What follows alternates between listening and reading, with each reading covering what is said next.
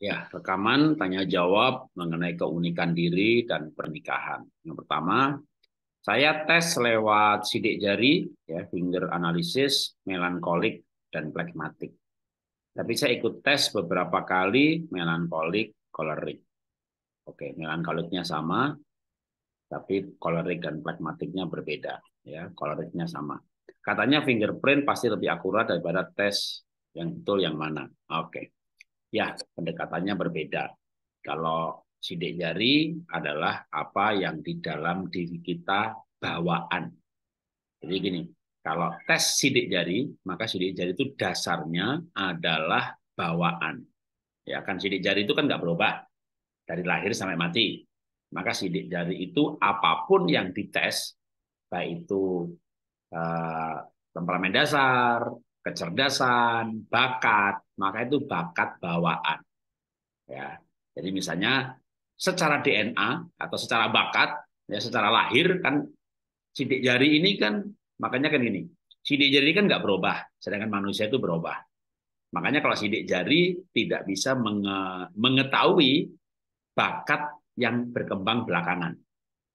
Sebagai contoh, misalnya saya dari awal kecil memang pandai melukis. Maka dari tes sidik jari, kecerdasan seni itu kedeteksi. Tapi dalam hal kemampuan menulis, saya rendah.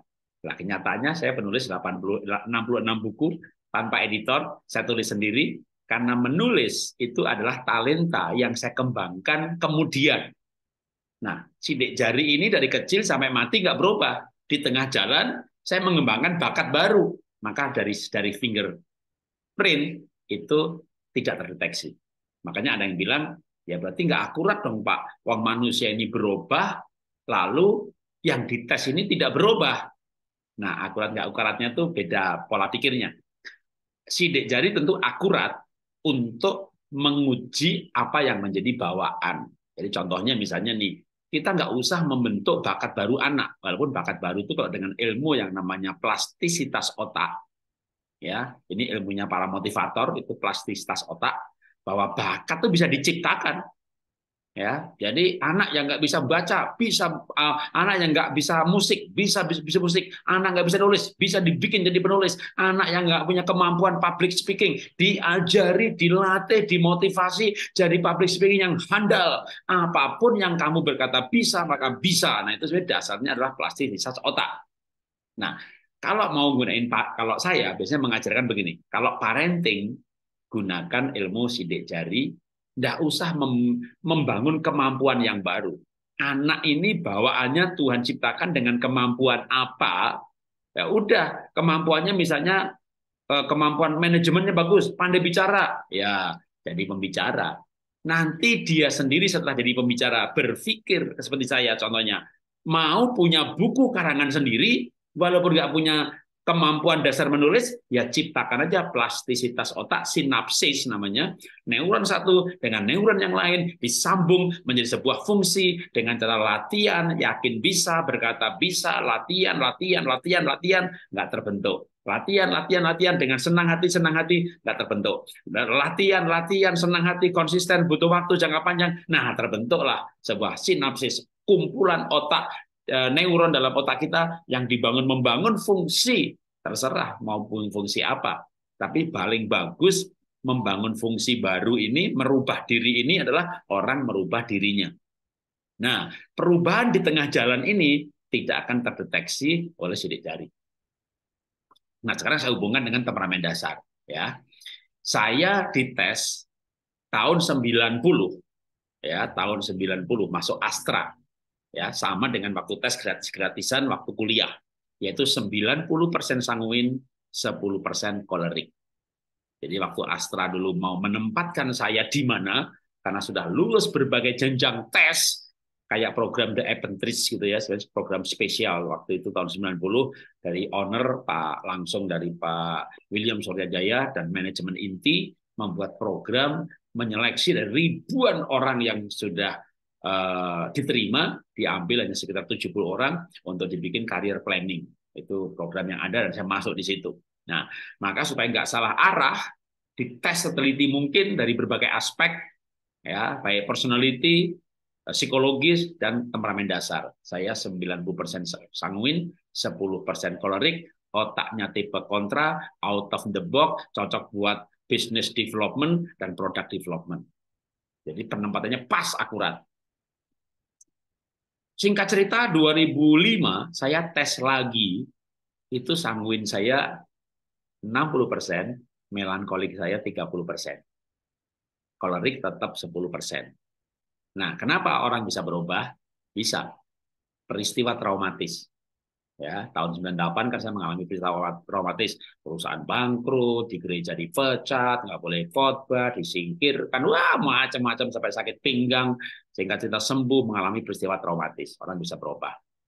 Orang yang tidak teliti karena sanguin merantau ke Jerman 8 tahun, 10 tahun dan bertahan di sana mungkin jadi orang yang tegas kayak kolerik atau menjadi teliti kayak melankolik.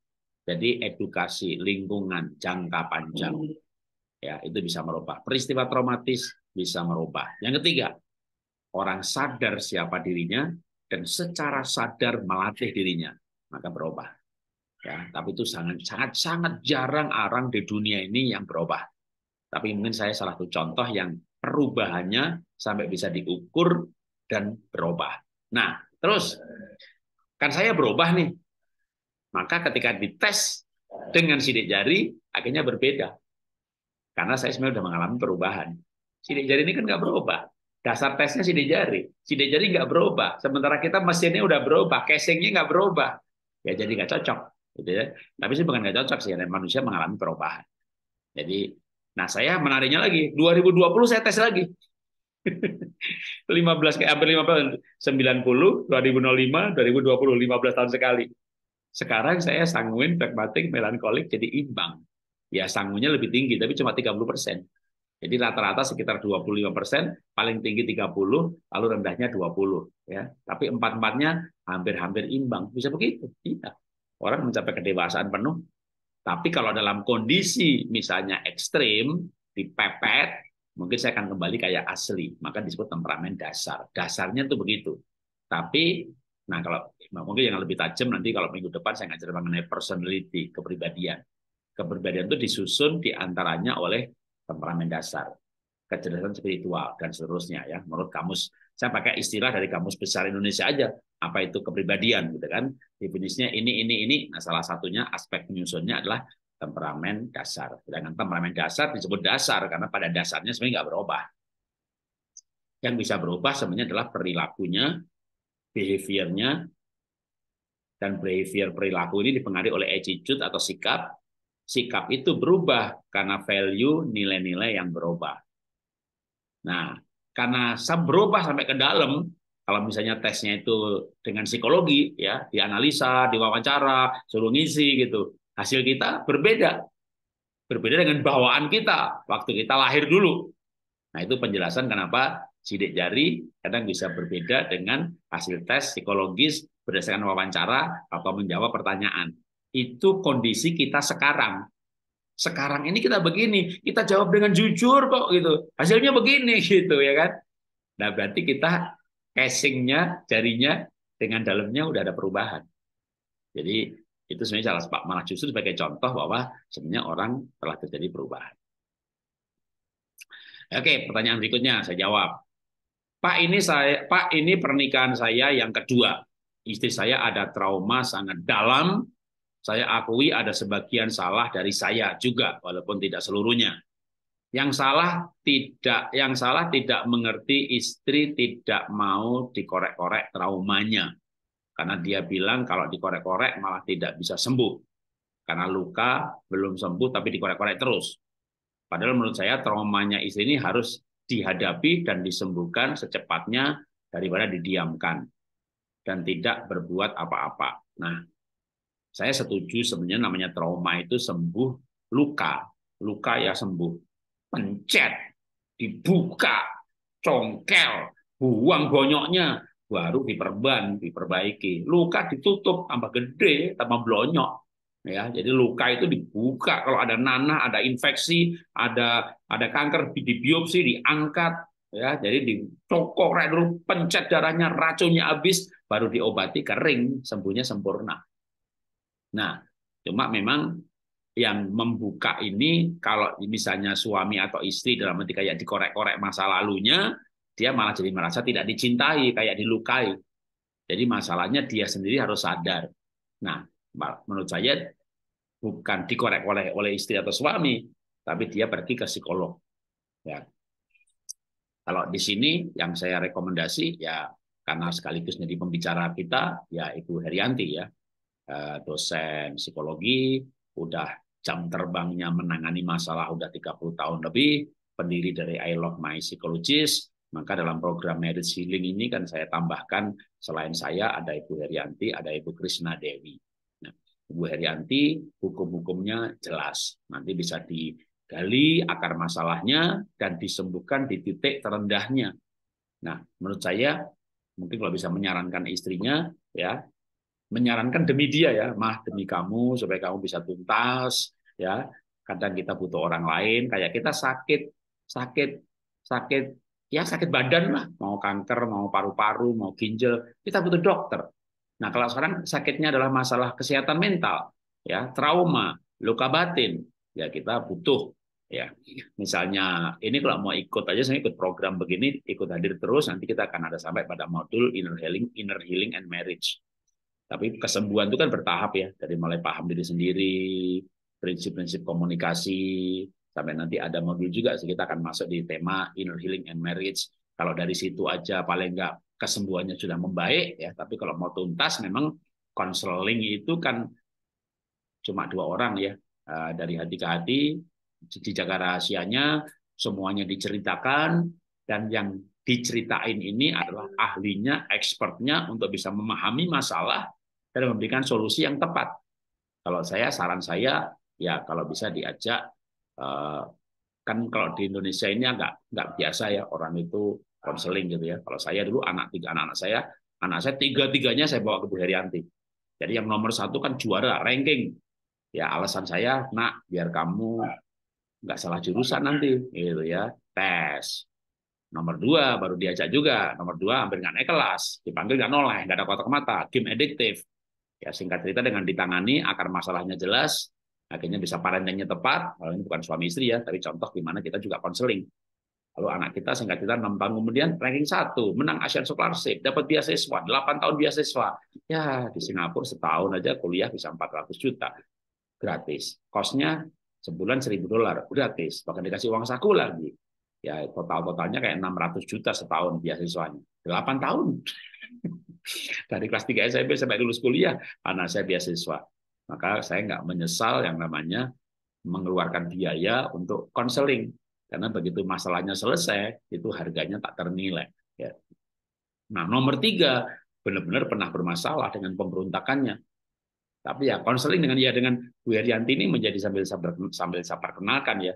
Menjadi semacam kayak psikolog atau konselor keluarga kami karena sejak anak-anak kecil sampai anak-anak SMP semuanya ditangani oleh Bu Herianti. Nah, bukan hanya untuk masalah parenting ya. Bu Herianti juga menangani kasus-kasus yang lain untuk masalah pernikahan juga. Jadi eh, kalau saya menyarankan ada masalah trauma ya atau masalah perilaku yang sudah sampai me, me, eh, berstandar atau berlevel levelnya trauma mengganggu perilaku jadi sebenarnya ada kayak bukan sakit jiwa ya maksudnya tapi kesehatan mentalnya ini sebenarnya terganggu nah ini kan mengganggu perilaku mengganggu perilaku, mengganggu relasi. Akhirnya bukan hanya untuk dia sendiri, kitanya jadi terganggu juga. Nah, ketika ada hal seperti itu, maka betapa indahnya, jauh lebih baik, jauh lebih bahagia, jauh lebih nyaman buat semua orang ketika mau untuk dibantu pihak lain, pihak ketiga. Nah, dalam hal ini, kalau misalnya gini, di masjid, Pak Ustadz, atau di gereja, Pak Pendeta, ngobrol dengan Pak Pendeta nggak enak karena istri, akhirnya ngomong sama Ibu Pendeta, gitu ya. Ya namanya bukan lembaga profesional kan. Nanti ibu pendetanya ketemu pendoa syafaat. Eh yuk kita doakan ya. Dia itu begini-begini gitu. Jadi ada gosip gosip namanya pokok doa gitu ya. Tanpa sadar itu sedang bergosip gitu ya. Nggak merasa gosip karena apa? Yuk kita doakan ya. Dia itu begini begini begini. Ya aduh. Akhirnya semua satu gereja tahu masalahnya gitu kan. Karena ibu gembalanya minta pendoa syafaatnya untuk ngajak berdoa buat si dia gitu. Ya itulah namanya gosip gaya baru namanya pokok doa. Maka kok kalau saya loh ya kok saya lebih nyaman dengan konselor uh, profesional ya. Nah, ini istri ada trauma yang sangat dalam, sebagian salah satunya walaupun tidak seluruhnya ya, yang salah tidak mengerti istri mau dikorek-korek, ya jangan dikorek sih namanya trauma ya, tapi dicintai, dikasihi sampai nanti dia merasa aman untuk bercerita. Tapi yang pasti kalau konselor itu ahlinya untuk begitu. Tapi kalau dari sisi bukan pergi konselor ya, dalam sisi pernikahan ya. Eh, sebagai contoh istri saya pernah kena hipnotis ya. Jadi istri saya pernah kena hipnotis dan 400 juta amblas. Jadi ya dia trauma pergi sendiri trauma tempat sepi. Kalau jalan sendiri ya nggak mau karena nggak pernah ada orang yang kena hipno itu sedang berduaan ya. Ditowel kena gendam nah sekarang gimana? Ya saya harus memberikan dia rasa aman ya kalau saya berikan dia rasa aman, saya berpikir bahwa dia bukan pelaku, dia korban. Kalau dia pelaku, pelaku nih, dia nipu orang lain, ya saya marah dong ya. Nah kan dia korban, jadi saya nggak marah. Malah, malah mungkin dia takut saya marahi, gimana ngilangin 400 juta? kalau bapak punya istri lagi 400 juta, dimarahi nggak gitu ya? Nah kalau saya waktu itu berpikir dia itu korban, bukan pelaku. Maka malah saya ajak doa, ya waktu dia nangis, udah ya kamu jangan trauma udah itu namanya uang yang penting kamu nggak diperkosa kamu nggak disekap. Daripada kamu itu orang penipunya tahu saldo kamu 400 kamu disekap di hutan sekap di mana tiap hari ngambil batas maksimalnya. Lalu sampai habis kamu dibawa ke mana wah saya ceritain kalau yang lebih ngeri-ngeri lagi udah bersyukur udah kamu cuma dibawa muter-muter aja ke ATM ke bank sana bank sini cabang sana cabang sini setengah hari. Tiap cabang ngambil 100 100 100 ya pokoknya ceritanya panjang ya itu jadi trauma. Ya trauma kalau mau dia mau cerita nangis. Ya udah nggak usah cerita dulu. Malah saya nggak usah bilang nggak usah cerita dulu. Saya bukan korek-korek. Gimana kejadiannya? Kok bisa hilang? Gimana gimana? Namanya orang lagi trauma ya. Tidak saya korek-korek. Ya udah saya bilang nggak usah cerita. Nggak usah cerita dulu. Ya usah cerita. Dia nangis jadi peluk aja. Sampai tangisannya habis aja doa. Besok dia pengen cerita lagi sedikit nangis lagi. Udah. Malah saya bilang jangan cerita dulu. Ya hari demi hari dia cerita tambah dikit tambah dikit Kenapa? Karena orang yang ada trauma itu dia juga juga dilingkupin rasa bersalah atau rasa menyalahkan. Tergantung traumanya dia dengan siapa. Ya, apalagi kalau traumanya itu misalnya istri traumanya dengan bapaknya digebuki dipukuli waduh ini, ini pihak si pihak yang membuat dia trauma yang ini enggak ini hanya dia harus dia bukan bukan menyembuhkan sih paling pihak yang memberikan trauma ini minta maaf kalau ini hubungan suami istri ya tapi kalau dia traumanya sama orang lain ya Dulunya sama suami yang pertama pernah diperkosa, pernah digebuki, pernah diajak seks yang aneh, suami mantan si mantan suaminya pernah bawa tamu, lalu suruh ini tamunya, ini suaminya aneh kalau dia nggak ngintip istrinya bermain. Lo ada loh saya pernah mendapat kasus itu suaminya nih kalau nggak lihat istrinya main sama orang lain dia nggak bisa terangsang. Nah pengalaman-pengalaman traumatis seperti itu mungkin juga istri takut menceritakan, takut dianggap aib, takut dianggap ini, anggap itu, dia nggak berani menceritakan semuanya sebelum dia ceritakan semuanya dia nggak akan sembuh.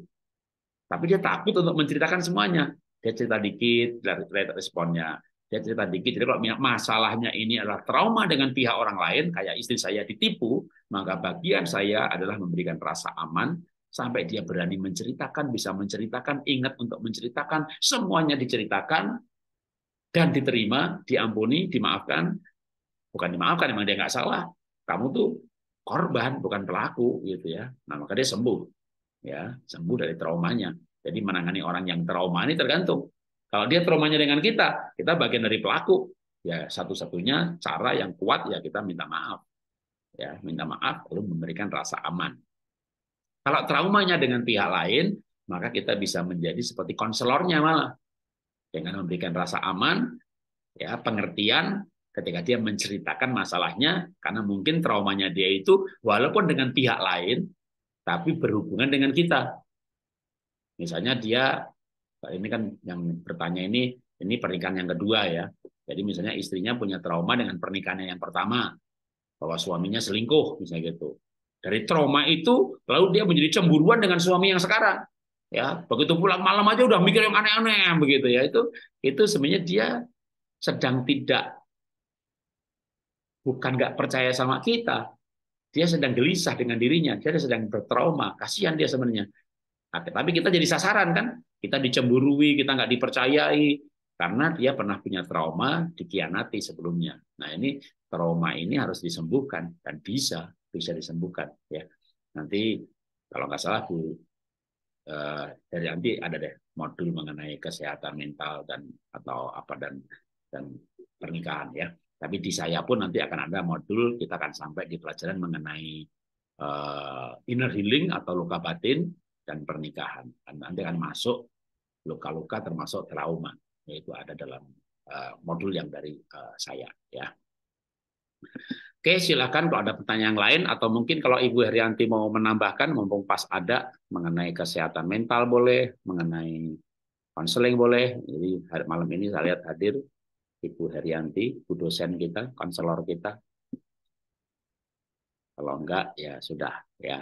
Kalau memang enggak ada tambahan atau enggak ada pertanyaan yang lain, uh, besok akan berjumpa dengan modul saya lupa deh kalau nggak salah besok ya besok ada ya besok dengan Ibu Herianti karena uh, ya nanti saya dan seingat saya besok ya besok itu ada dengan Bu Herianti lalu Rebu depan dengan Bu Krisna Dewi Rebu depan lagi Krisna Dewi gitu ya. Jadi ada ada ada ini ada ada akan ketemu besok ya. Link yang Bapak bahas dikirim ke mana ya? Ke WA grup ya. Coba WA grup Happy Marriage. Kan barusan di post tadi sore ya.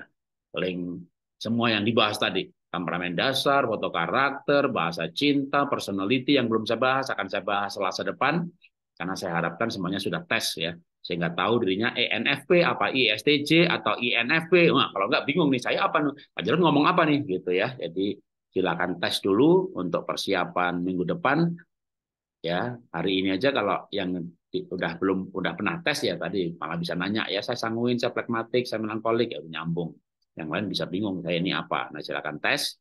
Nah, sebelum Selasa depan silakan dites yang MBTI. Ya, yang Myers Brigght Type Indicator. Karena kalau udah dites dan bagusnya tesnya suami istri, terutama yang personality. Ya, yang MBTI itu nanti tesnya tolong uh, suami istri supaya nanti kita bisa bahas kalau kombinasi begini, begini, begini itu gimana. Ya, itu MBTI termasuk jarang dibahas. Ya, kebanyakan orang itu ya sang ya keamanan dasar, foto karakter, TISC, ya muter-muter tiga itu paling bahasa cinta. Tapi yang MBTI, personality, dengan Myers, Bright Type Indicator atau MBTI itu jarang dibahas. Ya, dulu pun juga ya karena dia kelas berbayar ya. Tapi kita berikan ya sekarang memang kelas berbayar juga ya. Linknya tak kasih link yang gratis, silakan nanti klik di uh, PA Group. Oke, terima kasih. Sampai jumpa lagi besok malam. Ada pelajaran lagi besok malam dengan Ibu Dr. Herianti Satyadi. Ya.